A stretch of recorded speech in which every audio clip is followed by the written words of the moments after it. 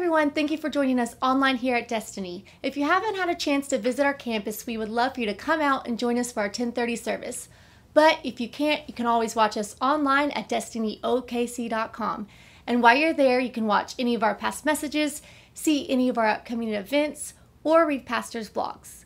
Also, don't forget to follow us on all of our social media platforms right here. And now, here's this week's message.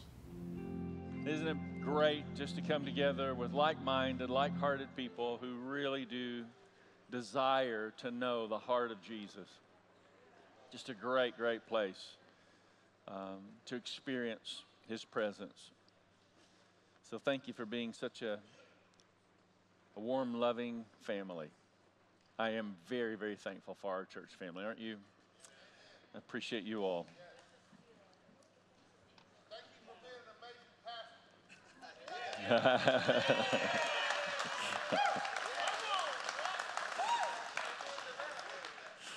All right, I told you I'd give it to you.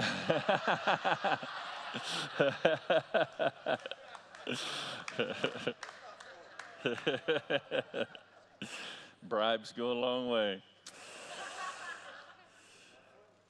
Um, I, I want to mention I'm wearing one of our reminder bracelets. so I don't, I want to say it now so I don't forget. Um, but this week, our youth are going to camp. And we want to be reminded over the course of the week just to pray over them. And we're believing for them to encounter God in a powerful and profound way. So as you go out today, if you look just left uh, out those doors, you'll see the, the table there, the Connect Center. And um, there'll be these green bracelets. Pick one up, put it on, and all week long as you think of it, I usually am wearing it and just kind of touch it and say, uh, the prayers that I pray over uh, over the, the, students that'll be there. So it's great. Um, wow, I I really uh, we're going to look at Psalms 133 as we continue in our uh, Bible study together in the book of Psalms. Really enjoying just what it means to go deeper in Scripture together. Quite honestly, um, I am learning more in this season of my faith and my relationship with the Lord than uh, I've ever learned. It just seems to be this constant time of God opening and awakening so much. Um, and so I'm excited to share some of the things today that the Lord's been speaking to me out of this. You know, we're, we're taking time just to walk through uh, the book of Psalms, 15 chapters at a time. And so this week has been Psalms 130 to 135.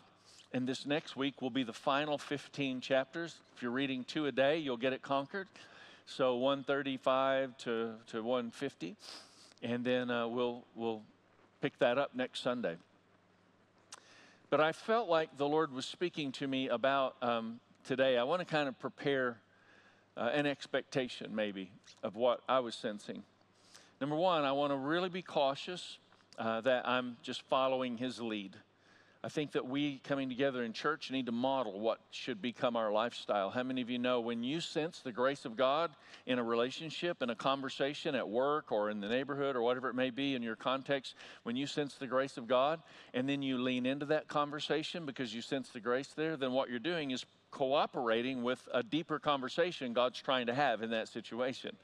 And then other times when you sense the grace of God lifting and you just step away from that, uh, and that's what I'm trying to practice uh, in this type of setting as well, where I just, when I sense the grace of God, I want to pause, lean into that. Um, and if I feel there's a lifting of something I would have shared otherwise, I just want to pull away from that. And just all of us should just be not only uh, led by the Spirit, walking in the Spirit, but keeping in step with the Spirit. And it's a beautiful, beautiful um, desire of the Lord for us to learn what that looks like. And how many of you know we're not going to get it right from time to time?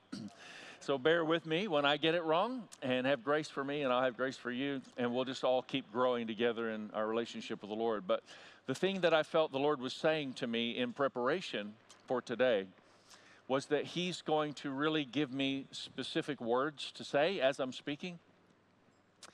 But more than the words I'm going to say, I saw that there are just these pockets of treasures of revelation from heaven that may or may not even be something I remark or point to or say that He's going to download in different ways to different people at different times through the course of our time together. I think what we're about to experience um, and are in the middle of experiencing right now this morning is really the essence of what I'm about to talk about. And there is a supernatural release that happens when we gather together as the church. Um, how many of you have ever been frustrated with the church before? How many of you have been frustrated with preachers before? Um, and let me just say, how many of you want to be like Jesus? Well, then you're going to have to learn to love the church because he didn't give up on her. He doesn't give up on people like me that stand up here and, you know, bring the best we can, and then we realize, oh man, I fell short again in that scenario or whatever that may be. We're just all on a journey trying to find our way, and I'm so thankful for the grace of God as we walk this out. So let's continue to be gracious and patient with each other. It's the essence of unity, and it's the point uh, of the morning. And so the Lord wants to reveal some things. I'm convinced of it. Uh, as I as I pray into this, even in preparation, I just want to point you to the reality um, in, a, in a bit, we're going to point to Ephesians 4 and this incredible text of Scripture. But the chapter prior, I would invite you um, to hit our blog and kind of read some of these things. But I, I want to, I'm not necessarily going to preach into this. I just want to mention it and then pray into it a bit. In Ephesians 3, this is the text, and I, I, I don't know, it's been a couple of years ago. I just was speaking, and when I read this phrase, it was that moment where grace just began to abound. And it was just this statement that you may be filled with all the fullness of God. Ephesians 3:19. That is a radical statement. That is a mind-boggling statement. What is the fullness of God? Like that you know you're supposed to be filled with it, but not just you individually. This text reveals the unity of the body of Christ as the context where God pours out the fullness of what he desires to pour into our hearts and lives. The enemy wants people to get sideways with church because there is something supernatural that happens when we gather like this. If we can get over our frustration of what that might mean, uh, you know, with the stuff we have to deal with with each other, uh, and, and conquer that, and like step beyond that and just love each other through it, there's something there that the Lord wants us to get that we might be filled to the measure of all the fullness of Christ. You'll never find that on your own. You'll never, if you get mad and get separated and spin off from other believers, I'm just fed up. I love God, but I hate church. I've seen all the billboards. I understand it. Uh, I feel the same way sometimes. All of us do, okay? We get it. But if you spin off and get yourself in that isolated disposition of individuality, you will not experience what I'm talking about. You'll never be filled to the measure of all the fullness of God. You'll be justified in your frustration at times, but still, you've got to more than conquer that so that you can learn to experience. It's just, it's just not healthy for you to constantly be talking about what you're mad about or what you're against. The church needs to learn to be known by what we are for, not by what we are against. And if we do that, it will really begin to transform the overall atmosphere of the expression of the love of Christ. So may Christ dwell in your hearts through faith, being rooted and grounded in love, knowing the love of Christ that surpasses knowledge, that you may be filled with all the fullness of God. And it goes on and says, To him, verse 21, be glory in the church and in Christ Jesus throughout all generations, forever and ever. Lord, we know that the enemy is sly and tricky. But we know that Jesus abounds in wisdom beyond our wildest imagination. And we can have discerning, listening, hearing hearts if we're willing to get over ourselves. We know that fights don't come from other people and their behaviors. Fights come from our own desires that battle within us. Your word says in James 4 what causes fights and quarrels among you? Don't they come from your desires that battle within you. So help us, Father, to grow in humility and maturity, that we might abound in love as the body of Christ and experience this supernatural outpouring of your Spirit in gatherings and moments like these. In Jesus' mighty name, amen. So, one of the things I learned as I looked into these 15 chapters, Psalms 130, I'm sorry, 120 to 135, um, Psalms 120 to 134 are actually a specifically designated grouping of songs. Psalms are songs. And 120 to 134 are known as, this is really important for us, songs of ascent. These 14, 120 to 34, songs of ascent. And ascent, as in ascending, going higher. That, that's the idea. And it's just beautiful. And if you think about it, it's kind of what's going well, it's very much what's going on. There are all these prophetic pictures that communicate spiritual realities in, in that we read about in Scripture. But the, uh, the Jews would travel three times a year to Jerusalem for these main festivals. And it's interesting, but when you, when you look at this, Jerusalem is, is a city on a hill. So imagine all these people in all these places making their way to Jerusalem. What are they doing? They're ascending, they're climbing up a hill. Why are they going? Because they're hungry to be obedient to the Lord. They're hungry to grow in an interaction with God. They know these are moments where they're coming together to worship, where they're going to encounter God in a way that's significant for their lives and their legacy.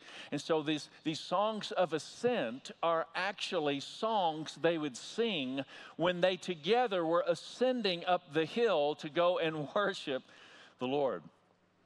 It's very powerful. And so if you'll go to our blog, destinyokc.com forward slash blog, I, have given the themes of each of these chapters because I actually thought about speaking on this. The progression is fascinating of what each progression is. And when they were singing these songs of ascent as they're making their way up the hill to worship the Lord, it's a beautiful progression and expression of worship and something really deep that was being released. But this really is the idea of us coming together, ascending in our perspective to worship the Lord. We're lifting our hearts to worship the Lord. We're lifting our attention and our focus to worship the Lord. Uh, you know, I love that there are a, a, variety of expressions in the church. You know that it, like if, if somebody gave you a million dollars, like some people uh, I, would, I would suppose some people would just stand there and sit down and cry. Anybody that would be you, that would be your response. I was thinking this during worship when I heard the other response, like you would jump up and down and you would go crazy because somebody just gave you a million dollars, right?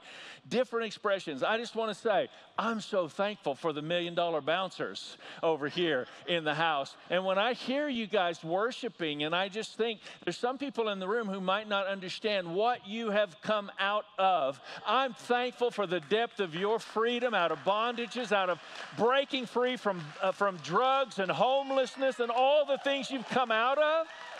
Come on, we ought to celebrate and lift up Jesus is bringing transformed lives.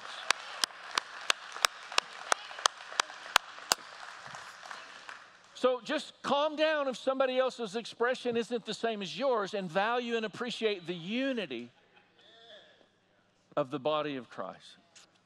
We shouldn't be all alike. Conformity is not the goal. Transformation in a space of unity, that is the heart and the goal. So, this, again, everybody coming, traveling upward, ascending upward, coming to the worshipful experience with the Lord. That's the goal in all of these, these songs of ascent. Psalms 133 speaks of the supernatural blessing of God that's being poured out on these people as they're ascending up the hill to encounter God in a powerful way. So just think about all these people walking together in unity up the hill, singing this song and how significant it is. Behold, how good and how pleasant it is for brothers to dwell together in unity.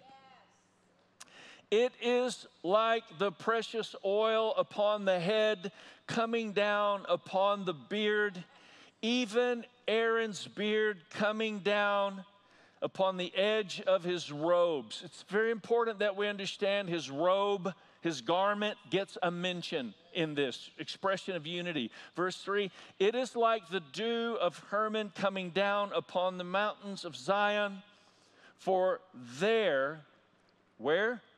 This is unity. This is the place of our ascending and pressing in. We want to worship the Lord. Listen, before I read the last part of this verse, please understand this.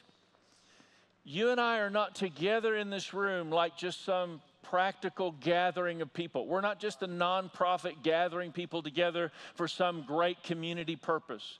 Great community action takes place as a result of our being here. There is something supernatural that happens when we, the church, understand our call to come together and actually be unified under the supernatural, eternal purposes of God. Because there, the Bible says, the Lord will command the blessing, life forevermore. We are right now ascending in our disposition toward a worshipful interaction with the Lord under the teaching and declaration and reading of His Word. I've, I've said I'm sorry enough and repented over it over the course of time, and, and, and I really do believe the Lord has healed me of it and, and, and forgiven me for it and restored me, helped me mature beyond it. But I have just repented over and over for neglecting the importance of the reading of the Word of God. It's like I've tried to come up with the most clever, attractive, get people to church sermons, and I would use a verse and then preach my sermon on all these clever Google research, you know, just to keep everybody, I'm keeping the plates going, and, and hopefully everybody really likes the message, and they'll tell their friends, and then their friends will come, and we'll be able to have a bigger church. And, and the, the more I'm energized by the praises of man, the less I'm discerning to the heart of God, and I won't do it anymore.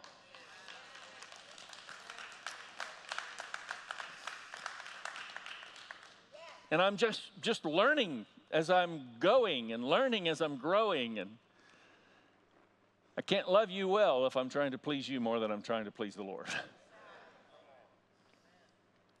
Notice this dwelling in unity is both good and pleasant.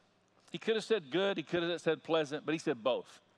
Synonymous terms, and, and we, we want to make sure we take a look at that. But, but let's just recognize something is released when we gather together in this ascending nature of the pursuit of God, dwelling together in unity. And, and listen, Lord, would you help us to hear the heart of Jesus in this text that Jesus obviously meditated on much when he walked on this planet? There's something that you want us to walk away from today that's more than just, that was a nice message. But I believe today there are treasures you want to impart within us that actually will transform our behaviors, will dispel our hard headed arguments that resist the nature of Christ and the kingdom of God. We just pause in this moment and just admit, Lord, we as the church, we've been evangelized by the world more than the world has been evangelized by us in many ways. In our independence and our isolation and our attitudes that don't reflect anything about your character. I pray you deal with those today. Deal with them deeply within us, Lord, at the deepest level that we might become more of the sons and daughters of God who understand the value of ascending together in spaces like this as a conviction and not a preference, not as a time we, when we can make it, we try to come together and casual about it. But Father, may we learn what it is to truly live in a state of conviction about the things that matter to you. In Jesus' mighty name, Amen.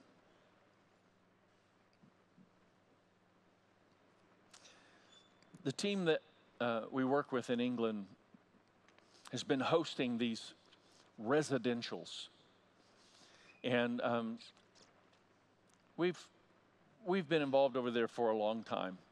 And, and it's really wonderful to have the entrance and to be involved in the conferences and the different things that we've been involved in.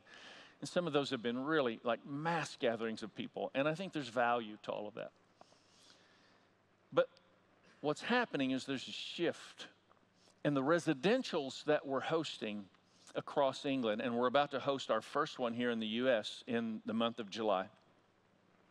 It's where we stop trying to attract large crowds of people together uh, for the purpose of the residential. Not, again, I'm not trying to dismiss something as wrong. I'm just saying we're growing in a greater understanding of the fullness of what God's desiring to reveal. And so, what we're doing is we're gathering just key leaders that are, um, they lead various ministries. Churches and different ministry expressions. Some of the individuals oversee nationwide movements. Um, but what we're doing is we're just gathering together in a space and we're not bringing in the dynamic proficiency leadership principle best book lately written. Let's get everybody on board and excited because the big name person is there. We actually are focusing on the bigger name person, Jesus. And we're not focusing on trying to get, you know, somebody really well known to attract people. And we're just relationally connecting. And then we show up in these spaces, small groups, and um, small as in it could be anywhere from 20 to 60 uh, people. And over the course, we, like there's an arrival in an evening where we all get welcomed in. Then we spend the whole day the next day. We, this is overnight stuff. We're all in the same space, you know, sleeping in the same area, eating around tables together, identifying with each other on the deeper reality of God. Uh, there's not one key person that shows up carrying the, the strength of the message for everybody in that context. We just read scripture together. We might take time just to fast and pray or have communion as we're reading the word. We pray verses together. Uh, we, just, we just spend time just trying to draw closer to the Lord in a very intimate setting. And, and we do that that whole day. And then the next day as well, uh, that's kind of been the format of what we've done in the UK. And, and what has happened, this is just remarkable. And it's absolutely tied to what I'm talking to you about. Because what is happening is these churches that these individuals are leading, these ministries that God has entrusted to their care to steward, something is being transacted in their own heart in such a powerful way that these ministries are starting to shift and change, not because we've gotten together and talked about the proficiencies of watching the metrics and making sure you've got all your follow up procedures, and not, not because of all the proficiency that we've learned to worship in the Western world church in this hour uh, of, of you know, leadership emphasis. And uh, again, some of that stuff is necessary in the church, so I'm not trying to just dispel it all, but it's not central. Jesus must be central.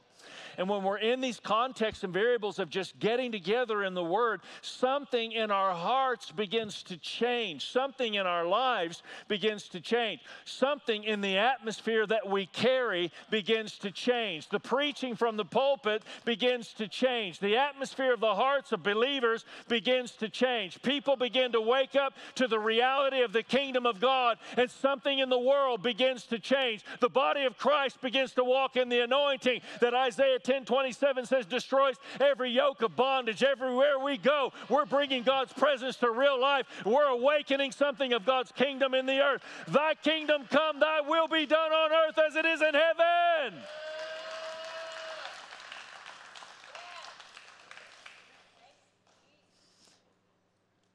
And there is a, this is where you're going to have to you're going to have to just submit to the Lord's desire in this there is a deeper reality of the revelation we're talking about today in a smaller setting.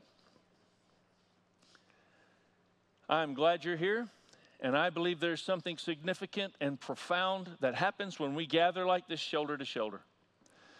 But I'm just telling you, if you are not getting face to face with individuals in a smaller group setting, in a smaller, more intimate community setting, then you are missing something God desires for you to possess. And it's not only getting through to your life, it is not getting through to your legacy. This is important.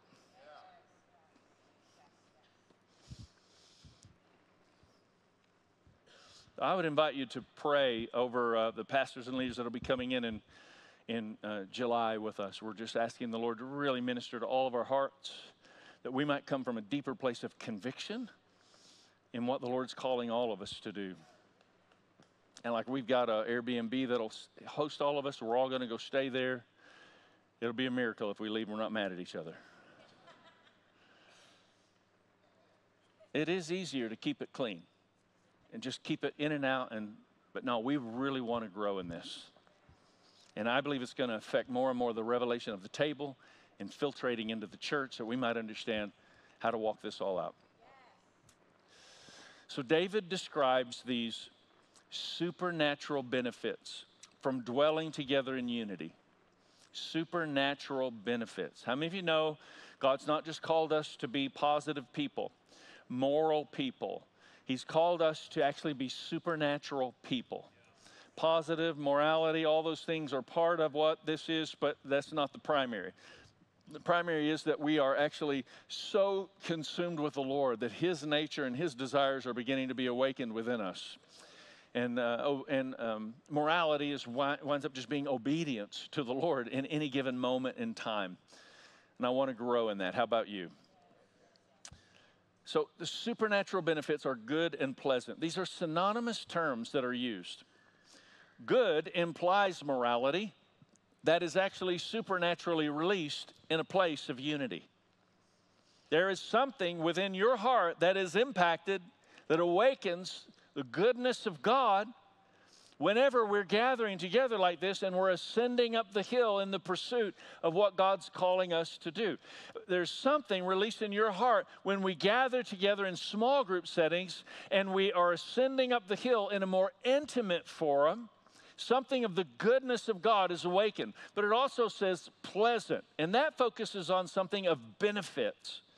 As I was looking at this, I thought it was just interesting. It was it really breaks it down as something that's awakened within us that is delightful, that is enjoyable, that is beneficial, that is beautiful. Think about the Ark of the Covenant in the house of Obed Edom. And, and you understand the Old Testament, like wherever the presence of God was, the blessing of God would begin to abound. Can you imagine what it would have been like if today we were taking turns keeping the Ark in someone's home and today you got selected and the Ark gets to go home with you? How many of you would be excited? How many of you would not reach up and touch it whenever you're carrying it? We've read the story. So they carry the ark into your house, and there it is in your house, and and and and you just have this sense of that which is delightful, enjoyable, beneficial, and beautiful, because the joy that's being released in your heart is something supernatural from heaven.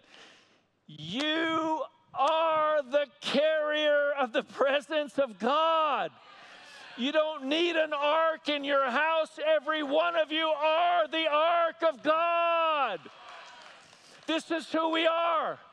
And when we gather in this type of forum, there's something supernatural that activates God's presence in a way that it's not activated otherwise. How good, how pleasant it is for God's people to gather together, to dwell together, not just get together, dwell. It's a deeper revelation of relationship, to dwell together in unity.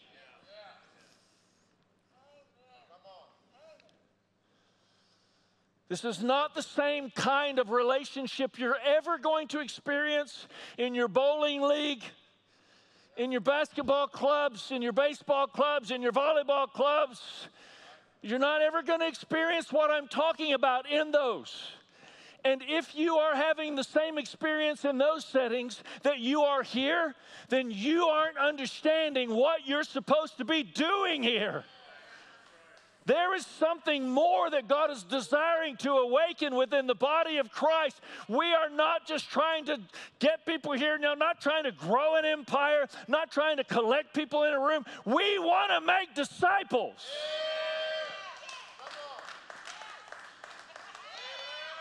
True Jesus followers who live in a world that is overcommitted and underconnected, but they refuse to live in the barrenness of a busy life and they're choosing to move beyond that which is inconvenient because of a conviction that exists within them, and we are going to grow together as the body of Christ. I'll drink to that.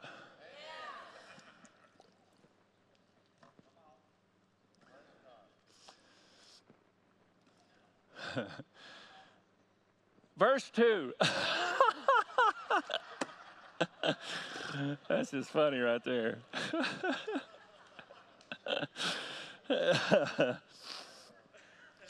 it is like the precious oil upon the head. It all begins with the head. Who's the head of the church? Jesus Christ. The oil was poured out on Christ and then began to come down on the body. That's the picture we're seeing in this. The precious oil poured upon the head, coming down upon the beard, even Aaron's beard coming down upon the edge of his robe. Now, Jesus, you remember when Jesus was crucified and they actually were gambling over his garment at the foot of the cross. And it was because it was this idea of a seamless garment, a robe, that the priests wore all the way back to Aaron the priest. All the way back. Jesus wore this robe himself as a rabbi and as the true priest who came uh, to fulfill all those prophecies. Amazing. He wore this seamless garment. So just try and get the picture of this for a moment. It's a garment without seam. So you kind of have the idea, it starts, because I was thinking about this, like, how do you make a how do you make a garment without a seam? And it's, you kind of have to start like in the form of a poncho. like it's one piece of, of fabric, nothing is sewn together. The idea is there is no, uh, no fabric or fabricated connection that's not authentically one. This is the garment that the oil comes down on. You and I are clothed in Christ. We become literally the garment, the expression of the body of Christ in the earth, in the world in which we live. We have no fabricated seam. We are the family of God. He is our Father. We're brothers and sisters. That's legit. That's not just religious church language. That's legitimately the reality that supernaturally happens when we are grafted in to become sons and daughters of God. We become one. And the oil pours down on the oneness, the unity of the body of Christ. The Bible's just filled with prophetic pictures of these spiritual realities, and it's just so amazing. But that anointing released on the oneness and the unity of the body of Christ, listen carefully, it creates a mighty force field against the enemy that he cannot penetrate. And he hates it. And that's why he wants to get you mad at somebody over something they said, over something they did, over something they didn't do, over something they didn't say. Because the enemy is trying to create a tear in the fabric.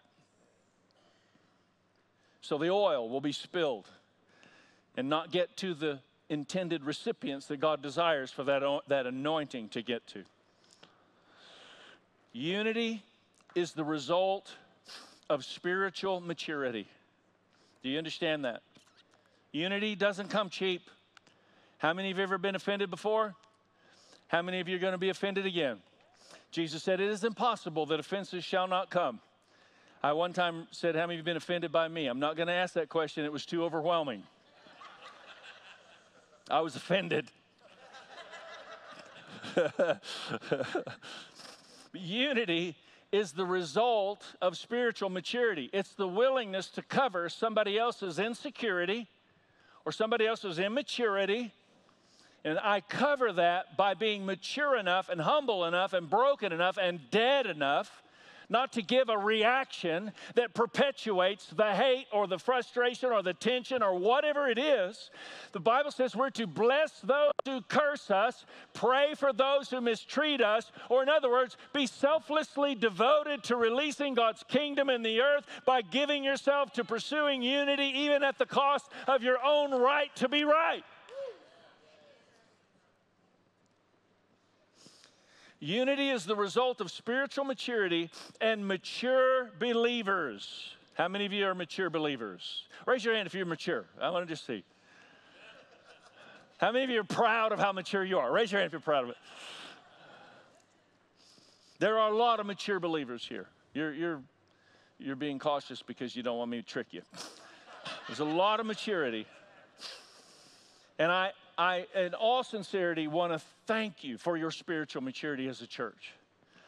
We do work with a lot of pastors. I do see a lot of chaos going on in churches. I don't see that here. And that's because of you, and I am thankful. When we get sideways, somehow we graciously work that out and stay unified and connected. We, I, I mean, I, am not even knocking on wood on this thing. I'm just saying, we've not had a church split. I've been the pastor for 34 years. We've never had a church split where this congregation side does it. We're going to be the hand lifters. We're going to be the hand not lifters. I mean, just the craziness. We can have distinction without having to have division because we are the unified body of Christ.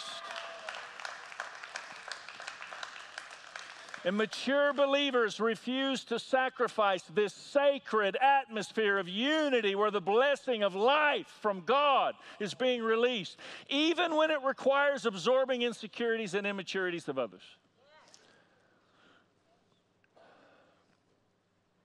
So,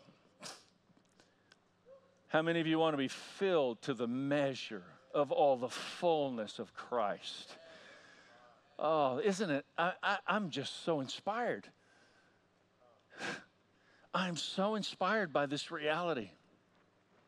Filled to the measure. I'm going to ask the worship team to come. We're just going to take a little time in worship and just let Him fill us up fresh and new. Give all of us an opportunity just to repent for any space, any place that we have allowed ourselves to be offended. Recognizing that the enemy's looking for anybody that will allow an open doorway of offense to create uh, some breakdown in what God's desiring to reveal. and I want you to see this final verse of scripture out of Ephesians 4. Remember, it was Ephesians 3. It speaks of our being together as the body of Christ. And in that unity as the body, in our congregational family revelation, we are filled to the measure of all the fullness of God. And then we see it again reiterated in the very next chapter Ephesians 4 11 to 13. So Christ himself gave the apostles, the prophets, the evangelists, the pastors, and teachers. Now, these are this is the description of the fivefold ministry gifts for the body of Christ. That's what this is. We read in the book of Romans the uh, motivational gifts. Um, uh, we're going to actually, Christmas is going to be an emphasis of the gift.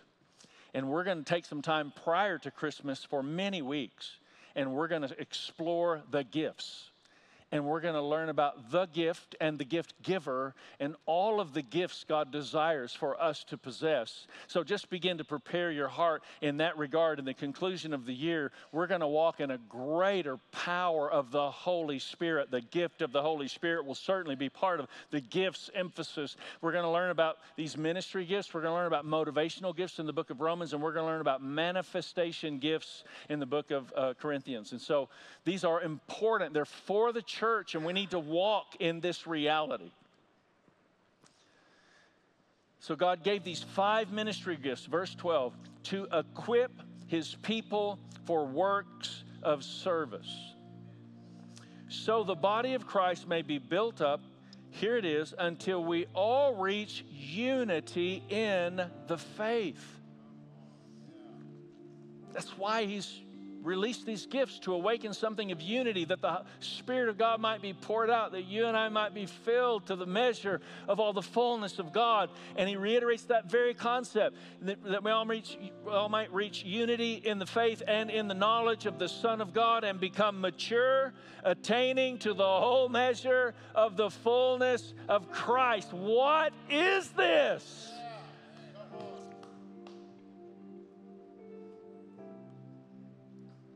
Whatever it is, I want it. I want more. But it doesn't come cheap. And it requires a deeper relationship. So evaluate. Have you been living an offended life? Think, think about, you know, God's plan really is for us to discover the beautiful complexities of friendship and relationships in general in this attitude of love and mutual submission.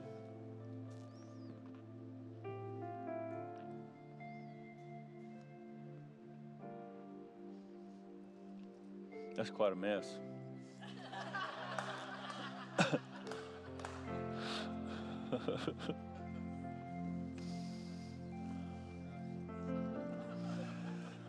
If you need to get to the bathroom, you can do that. You don't have to.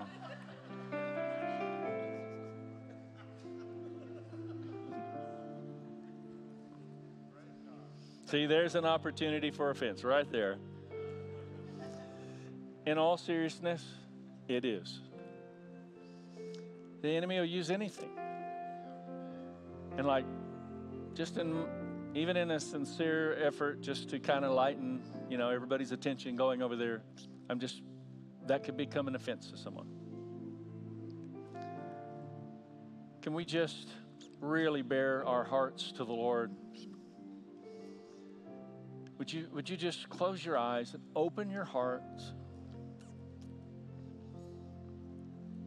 The psalmist writes in Psalms 139, which is actually part of what we're, we'll be reading this next week. He said, Lord, you know me. You know my thoughts before I think them. You know my words before they ever formulate or come out of my mouth.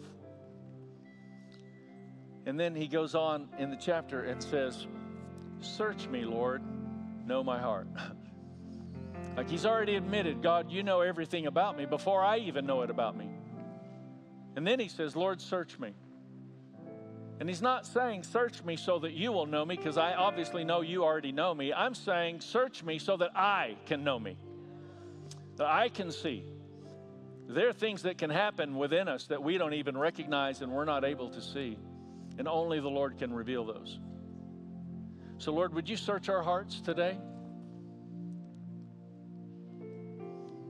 Would you search our hearts today that we might know? If there be any way within us that needs to be addressed, that we would surrender that to you. And as He's searching hearts right now, maybe revealing something, just if He's revealing something specifically, God's putting His finger on something specifically that He's dealing with in your heart, just lift both your hands and surrender. Let's just give those things to Him. Whatever they may be, whatever it may be that God is pointing out, we just surrender that to you, Lord. I pray you help us to grow in a greater revelation of maturity, in a deeper reality of unity as the body of Christ.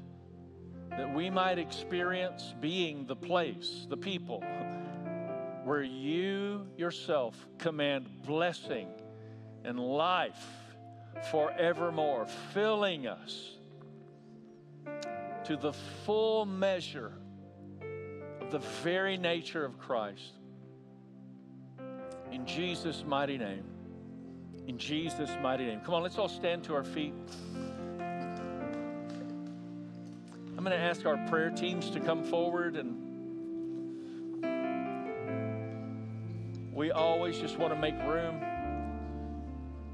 just to allow the Holy Spirit to solidify anything that He's stirring and awakening. It's a great place to do it in this place of worship. It's also great just in a prayer of agreement. And, and just listen, it's very important. I'm not here just to bring messages of positivity or you know challenge or I'm here to tell you that God sent his son Jesus Christ to rescue us from our sin. And if you have not prayed to receive Jesus Christ as your Lord and Savior, you've not brought your sin to the cross of Christ, listen very carefully, then you are not a Christian. And it is very important that you understand this decision determines your eternal destination and, and forever. like we need to hear about heaven and hell a little more frequently in the church that we might recognize this. But I also just want to say, and just a bit of a clue to what I'm sensing the Lord is saying. And uh, over the course of the summer, we're, we're going to take a look. I want to be careful because this can be confusing, but we have very much in our generation, and I'll explain this, we have made sal- uh, salvation the kingdom of God. That's a better way to say it. We've made the kingdom of God the kingdom of a salvation prayer. And we're going to take a look at what decisional theology is. And, and let me just make sure we understand you need to make a decision for Christ. It's great to say this on the heels of making sure you understand how I'm not changing that at all. But the kingdom of God is not the kingdom of salvation, it's the kingdom of God. And salvation is the entry point into walking in the fullness of the kingdom of God in the way we express our interaction with Him. Jesus, full of and in perfect communication with the Holy Spirit, Luke chapter 4.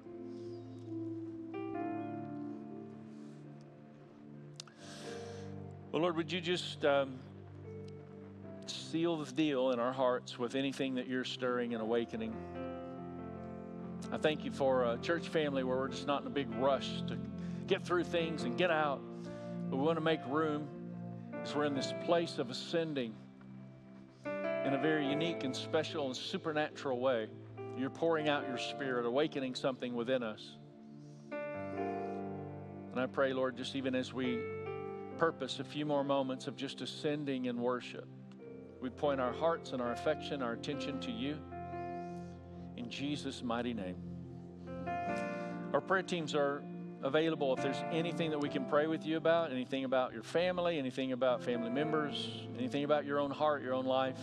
Something powerful about the prayer of agreement. Would you agree?